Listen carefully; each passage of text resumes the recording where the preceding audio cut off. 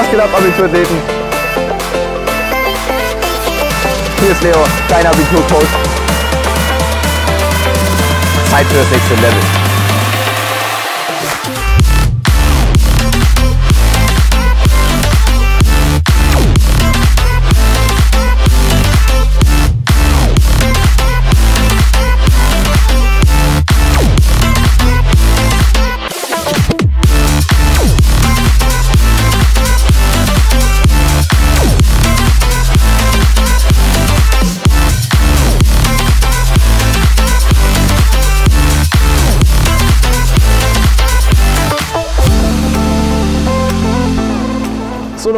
Heute in Berlin und zwar geht es zur Awesome People Conference 4. Martin ist wieder hinter der Cam, filmt wieder ein paar geile Third-Person-Shots für euch. Und heute für euch, wahrscheinlich für die meisten von euch ganz besonders, die Jungs von The Simple Club werden auch da sein. Könnt ihr euch darauf freuen. Die ist halt, das fand ich ja das Geile, weil ich meine, das siehst du ja auch in den Kommentaren, die ganze Zeit so, oh ja, 07, Streber, bla bla bla, hat bestimmt keine Freizeit. Und sie meinte halt so, also ich hatte Freizeit. Das Geiste war ja, sie wollte ja nur in Anführungsstrichen 1-3 schaffen. Und alle anderen haben so gepusht, nein, du schaffst 1-0 und 1-0 sie so, ja, schauen wir mal. Und dann ist halt 0-7, ne? Aber, aber das ist so geil, weil sie bestätigt halt voll so eine These, die ich halt in letzter Zeit so vorausgemerkt habe. Es geht so, klar, du musst viel lernen, wenn du nichts weißt, kannst du nichts hinschreiben. Aber gerade die, die sich so übelst reinstressen, sind immer die, die 1-0 haben wollen, aber dann im Endeffekt nur 1-5 haben, weil sie halt voll verkacken. Und so, oh, Aber die, aber die ist dann schon in sich als Person sehr Ja. lernaffin, dass ihr die Sachen leicht fallen, oder? Voll. Also, ja, sie, sie, sie, was glaube ich bei ihr so eine der entscheidendsten Sachen war, sie ist einfach ja, seit Jahren war einfach gut und hat halt einfach diese Routine drin, halt einfach vernünftig zu lernen. Aber schon saulustig. Weil auch wie so ein Video abgehen kann, ne? hast du, wie viel hast du schon? Hast du 100.000 mittlerweile? Über 200.000. Wirklich? So no, fucking. Ich hab's doch vorgestern erst gesehen, da waren es noch 60. Oh mein Gott, 200.000. Wie viel, wie viel Abos jetzt? Über 13.000. Alter! Ist halt echt wie Weihnachten. Ist das lächerlich von diesem einen Video. Zieh das rein. Mm. 215.000. Was zur Hölle? Alter, warum ist denn das jetzt nochmal so viel mehr abgegangen? Ich habe es bei Wann? 67.000 gesehen. Ja, ne? Ich dachte halt auch so. Alter. Ich dachte mir so, okay, wenn das, wenn das 20.000, also ich dachte mir so, okay, 20, 30, 40.000, das kann ich mir vorstellen. Ja. So, da hoffst du ja auch drauf mit so einem Ja. Titel und Ja, wenn es nicht mal Clickbait ist, dann mega geil. Und dann geht das so auf 60.000, 70.000, okay, dachte ich mir, Alter, das war ja so krass worth it, ne? Dann habe ich zu, dann irgendwann so, vor allem du denkst halt so, okay, am ersten Tag geht's ab und dann schwächt das ab. Ja. Denkst du, okay, am zweiten Tag, okay, dann schwächt's ab. Ja. Dritter, okay, dann schwächt's ab. Vierter Tag, okay, dann schwächt's ab. Ich habe dann gestern zu ihr so gemeint, sie meinte, Alter, wir haben jetzt schon, sie hat mir gestern geschrieben, wir haben jetzt über 140.000 Aufrufe. Ich so, ja, voll krass. Ich denke, das würde ich jetzt so bei 150.000, 60.000 einpendeln und dann passt es. Weißt du, da, da ich dachte mir, dann, dann aber wirklich. Oh Gott, Alter. Und jetzt, jetzt ist halt wieder, ne? Ein Samstag, vielleicht viele Leute haben vormittags nichts zu tun. Jetzt, jetzt. Meinten dann zwischenzeitlich mega viele. Ah, über die Tatsache, dass das Da, dacht, da dachte einer tatsächlich, da, weil ich hatte dann, weil YouTube hat dann gesagt, Moment, das geht zu schnell, hat dann Abos wieder abgezogen. Dann hatte ich das ähm, hochgeladen Ja. und dann stand wir auf einmal bei 9.723 oder so. Und alle dachten sich so, hey, what the fuck, was ist das für ein Typ? So lädt 10.000 Abos-Special hoch, obwohl es noch gar nicht so ist, ne? Und dann ich so, ich so, ja, nee, das geht zu schnell. Äh, YouTube hat nochmal nachgerechnet, aber wir sind schon wieder bei 9.900. Sollte dann in der Stunde wieder passen. Sorry, 10 Minuten. Das war, das war ein echt perverses Gefühl. Ne? Du machst so diesen YouTube-Live-Counter an, hockst dich so davor mit einer Flasche Wasser wie Casey Neistat so immer mit 10.000 pro Sekunde oder so. und hockst so da so plus 4, plus 5, plus 6. Das ist halt so crazy. Na Jungs. Wie geht's? Sehr gut und dir? Na, alles fit? Fresh schaut ihr aus. Ja, Gleich, gleich Spot in der. Ich mach hier mal einen auf reserviert. Mach einen auf reserviert, ich meine. Ja, das ist Martin, der kann euch auch. Ah, der Glückwunsch zu Hey, also ist ja Bruder, Mann. Äh, ja, 13.600 mittlerweile. Explodierst gerade komplett, Alter. Das ist halt übel heftig. Ähm, Videos ja so viral gegangen. Wir sind jetzt bei mittlerweile über 200.000 Aufrufen. Das ist so verrückt. Das ist so verrückt. Gary Vee, one piece of content can change your life. Ohne Scheiß, ich habe gestern geguckt, da waren es 188. Dann gucken wir so vorhin irgendwie 200, irgendwas ist das what, Alter. Was geht denn Ich hier habe ab? gestern noch mit Magdalena ähm, geschrieben Ja. und dann meinte sie so, Alter Leo, ich habe jetzt noch mal drauf geguckt, hat ja gerade 140.000 Aufrufe. Ich so, ja, ja, übel krass, ne? Ich meine so, ich gehe jetzt mal davon aus, dass ich so bei 160, 180.000 einpenne, weil ich dachte, Alter, jetzt geht es schon seit vier Tagen viral, muss auch mal wieder reichen. Ja, ja, ja. So, jetzt sind wir jetzt mal 12, jetzt ist natürlich in den letzten zwölf Stunden nichts passiert, weil alle pennen. Aber mal schauen, wenn heute, wenn heute Vormittag noch Leute ein bisschen Langeweile haben. Te- Team ist halt der Gamechanger, ne? Ich glaube echt auch. Weil das nimmt mir so viel Zeit raus. Der, der Podcast ist ja eigentlich. Er ist, ich hab, das ist das Geil- Allergeilste. Ich habe ihn mir gestern beim Einkaufen selbst angehört, weil ich so geil fand. Also ich wollte eigentlich nur hören, ob ich irgendwas verbessern kann, so. Aber dann höre ich das so, ich denke mir so, krass, Alter, ich weiß schon, was der Typ sagt, aber es pusht mich. nee, aber das ist halt so krass, ne? Eigentlich, so, es gibt ja so viele Leute, die machen eine Folge in der Woche, ihren Podcast und so, das ist ihr Business.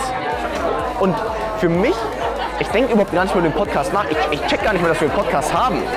Das, weil ich mache einfach nur die Aufnahme, lade es in die Drive hoch, that's it. Na, schön dich kennenzulernen. Leo, Ja, noch nicht. Mariana. Also ich weiß ja, du bist, aber du, du bist, weil, weil ich habe die zweite Runde nicht so, deswegen ist das heißt für euch natürlich die VIP-Plätze, ne? ja, aber du darfst sicher Platz nehmen, vor allem solange Nein, noch glaub ich keiner hier ist. Aber gehst du jetzt los? Schon. Ja, ja, wir starten. Ja, eben. Aber lass uns gerne später sprechen. Ja, voll gerne.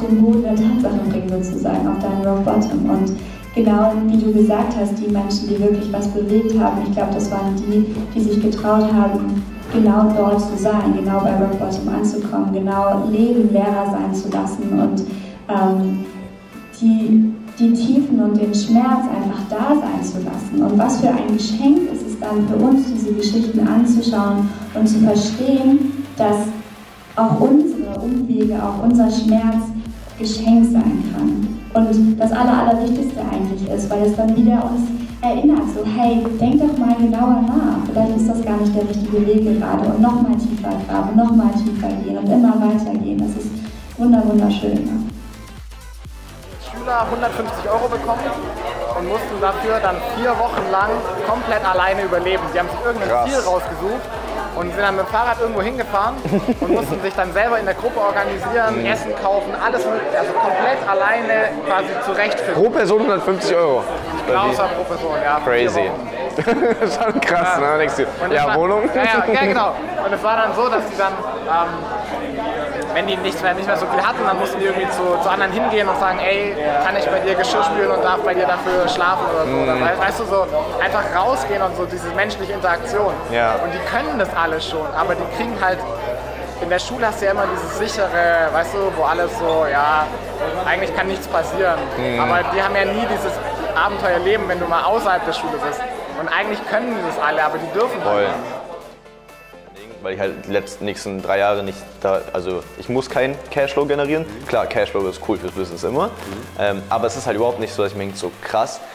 Was bei mir halt der Punkt ist, so ich bin jetzt seit einem Monat auch extrem krass ganz in diesem hochpreisigen Denken drin.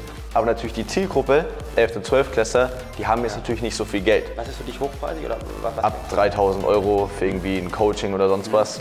Ähm, deswegen wür- würde mich su- super spannend interessieren, was du von dieser Strategie denkst. Und zwar, was ich mir überlegt habe, eigentlich ist es doch so geil für die Community, halt wirklich die- die 11. und 12. Klässler, einfach halt möglichst viel Sachen for free raushauen. Vielleicht von mir aus günstig, was weiß ich, oder mal für 400 Euro eine Reise, halt nur solche Sachen.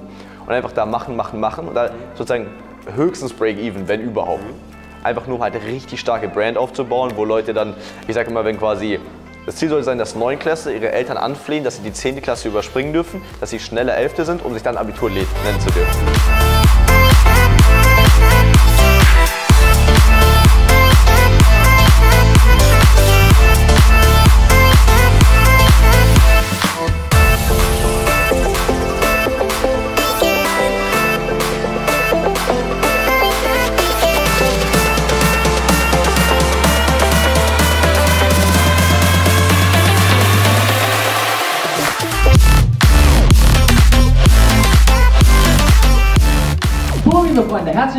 Zur Awesome People Conference. Heute mit Alex Giesecke und Nico Schork von The Simple Club. Mega schön, dass ihr dabei seid. Ja, für uns auch. Remote Work, eine No-Manager-Struktur sowie freie Urlaubseinteilung haben ihre Unternehmen produktiver gemacht. Sie brechen jegliche Regeln der klassischen Manager-Literatur und erreichen dadurch außergewöhnliche Resultate. Und ich glaube, das ist auf jeden Fall eine Ansage und ich freue mich auf die nächsten Minuten. Nice. By the way, das haben wir geschrieben. Was würdet ihr sagen, ist der Grund dafür, dass die Leute Bock haben, bei euch zu arbeiten? Ähm, vor allem der Grund, dass wir ihnen genau die gleichen Freiheiten einräumen wollen, die wir auch selber von unserem Leben erwarten. Und das ist vor allem Freiheit, das zu tun, was man will und wann man will und wo man will. Äh, das haben wir tatsächlich gemerkt, als wir das, äh, die ganze Firma gegründet hatten. Wir hatten hier ein Büro in Berlin, hier um die Ecke sogar. Äh, Reichenberger Straße ist hier in der Nähe. Ähm. Und äh, da hatten wir gedacht, wir müssen da ein Büro aufziehen und die Leute müssen da jeden Tag hinkommen und so weiter. Und irgendwann hatten wir aber selber die persönliche Situation, dass wir mehr Freiheit brauchten, unterwegs zu sein und äh, auch mal weg vom Büro zu sein. Und dann standen wir vor dem Punkt, ja, wollen wir das nur uns selber anbieten und dann in die Firma gehen und sagen, jo Leute, wir verpissen uns mal für vier Wochen, ne? aber hier hockt ihr weiterhin. Äh, oder sagen wir, wir bauen eine, ein System auf, das jedem Mitarbeiter diese Freiheit gewährt und trotzdem produktiver ist als vorher. Jo, ich bin der Leo. Meine Mission ist sozusagen so das Unternehmen für Oberstufenschüler aufzubauen.